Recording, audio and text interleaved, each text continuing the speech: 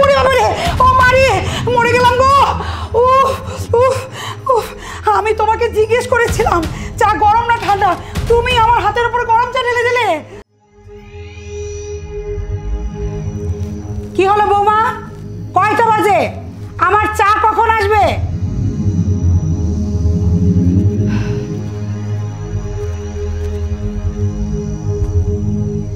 চা গরম নাকি ঠান্ডা? ওরে বাবা রে। ও মারি মরে গেলাম গো। উফ। আমি তোমাকে জিজ্ঞেস করেছিলাম চা গরম না ঠান্ডা? তুমি আমার হাতের উপর গরম চা ঢেলে দিলে? আরে মা এটার জন্যই তো চা আপনার শরীরে ঢেলে দিলাম। গরম নাকি ঠান্ডা দেখার জন্য। যেহেতু আপনি চিৎকার দিয়ে উঠছেন তার মানে চা অনেক গরম। আমি মুখে জিজ্ঞেস করেছিলাম তুমি তো মুখে উত্তর দিতে পারতে। তা না করে তুমি গরম চা আমার হাতে ঢেলে দিলে কেন? ও মা আপনিই তো বলছেন মা মুখে মুখে কথা বলা একদম আপনার পছন্দ না। তাই তো আমি চা আপনার শরীরে ঢেলে দিয়ে দেখালাম। চা গরম নাকি ঠান্ডা? আমি তো আপনার নিয়মে মানতেছি। তাই না, মা? কি? আমার নিয়ম মেনে চলতেছো না? আমার হাতের উপর গরম চা ঢেলে দিয়ে বলতেছো, আমি আপনার নিয়ম মেনে চলতেছি। আজকে আসুক আমার ছেলে। আমি আজকে বিচার দিব যে দেখ, তোর বউ নাকি আমার নিয়ম মেনে চলে ও মা গো। ও।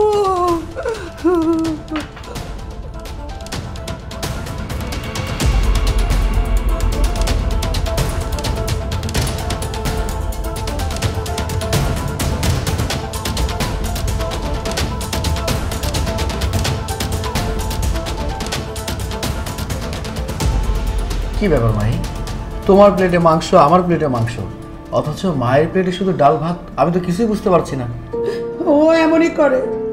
তোর বউ সবসময় আমার সাথে এমন করে। সকালবেলা সামান্য চা চেয়েছিলাম। সেই চা আমাকে না দিয়ে দেয় গরম চা আমার ঢেলে দিয়েছে। দেখ কি অবস্থা হয়েছে। হায় হায় আল্লাহ। মাহি তুমি এটা কি করছ হ্যাঁ? তুমি আমার মায়ের সাথে এমনটা করতে পারলে? আরে আমার মা তোমার কাছে এক কাপ চা চেয়েছে। তাই বলে তুমি চা মায়ের হাতে ঢেলে দেবে? ছি ছি ছি ছি মাই আমি তোমার কাছে কখনো এটা আশাই করিনি। তোমাকে আমি বিশ্বাস করে ভালোবেসে বিয়ে করেছিলাম। এখন আমার নিজের প্রতি আমার নিজের ঘৃণা হচ্ছে। কেন? আমি একদিন এরকম করাতে তোমার খুব গায়ে লাগছে। আর তোমার মা যখন অন্য একটা মেয়ের সাথে প্রতিদিন এই ব্যবহারটা করতো, তখন তোমার গায়ে লাগেনি? আজ তোমার গায়ে লাগছে কারণ আমি তোমার নিজের মায়ের সাথে করছি, তাই তো? আর তখন তোমার গায়ে লাগতো না, কারণ সে যে অন্য একটা বাড়ির মেয়ের সাথে করতো। আর তাছাড়া আমি ভুল কি করছি? আমি জানি বিধবাদের মাংস খেতে হয় না, তাই আমি তোমার মাকে মাংস দিই নাই। ভুলের তো কোনো কিছু করিনি। এই, তুমি চুপ করো। খাবার টেবিলে বসে আছে, নয়তো আরও চিৎকার দিয়ে কথা বলতাম। একই তো ভুল করেছ, অন্যায় করেছ। তার উপর আবার বড় বড় কথা বলছো? এই, কোথায় লেখা আছে বা কে বলেছে? বিধবা যারা, তারা মাংস খেতে পারবে না? ও মা কেন তুমি জানো না? এই ঘরেই তো শুনছি। এই ঘরেই তো এই নিয়ম চালু হয়েছে তোমার ভাবি যখন বিধবা হয়েছে তখন তোমার ভাবিকে দেখায় দেখায় তোমার মা মাংস খাইতো, তাকে দিত না। কই, তখন তো তুমি প্রতিবাদ করনি? তখন তো তুমি তোমার মাকে জিজ্ঞাসা করনি যে, মা, তুমি এই নিয়ম কোথায় শুনছো? তুমি এসব কথা কোথায় শুনেছো?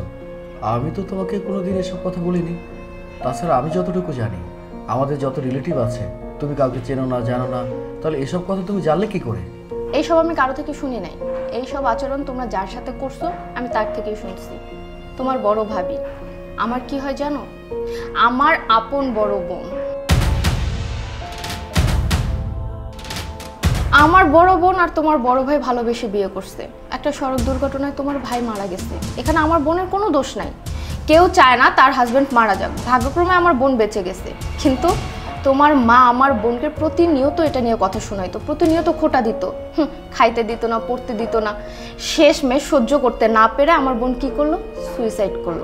শুধুমাত্র তোমাদের এই ব্যবহারের কারণে আমরা আমাদের বোনকে হারাইছি। আমি কোথায় শুনছি এই সমস্ত কথা? আমার বোন সবসময় আমাকে মেসেজ দিয়ে জানাইতো, এই সংসারে কি হয়? কখনো অত্যাচার করতেছে, কিন্তু তোমরা কখনোই প্রতিবাদ করো নাই। কেন করো নাই? তখন তোমাদের বিবেকে বাদে নাই? আজকে আমার বিবেক নিয়ে তুমি প্রশ্ন তুলছো? আর তোমার মার বিবেকের কথা নাই বলি। যাই হোক, তখনই আমি মনে মনে প্রতিজ্ঞা করলাম, আমি এই সংসারে বউ হয়ে আসব। আর এসে তোমাদের সাথে সেম ব্যবহারটাই করব যেটা তোমরা আমার বোনের সাথে করছ।